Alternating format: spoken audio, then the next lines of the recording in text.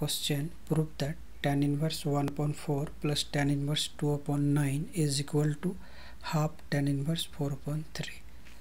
so first we write its LHS tan inverse 1 upon 4 plus tan inverse 2 upon 9 and now we use the formula tan inverse x plus tan inverse y is equal to tan inverse x plus y upon 1 minus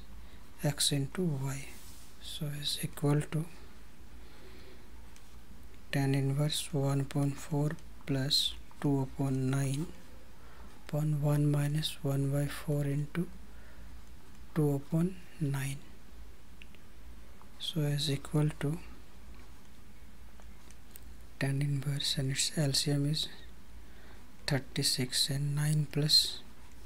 8 upon 36 minus 2 upon 36 here 36 36 cancel. So is equal to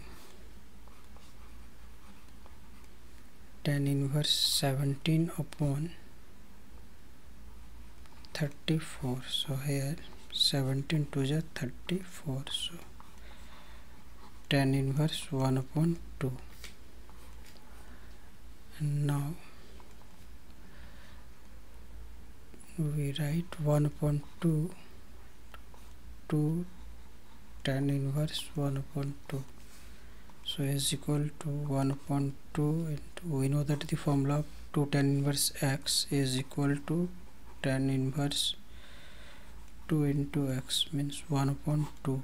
1 upon 2 tan inverse. Here 2 to cancel. So 1 upon 4 minus 1 upon 4 so is equal to 1 upon 2 tan inverse. 1 upon 3 by 4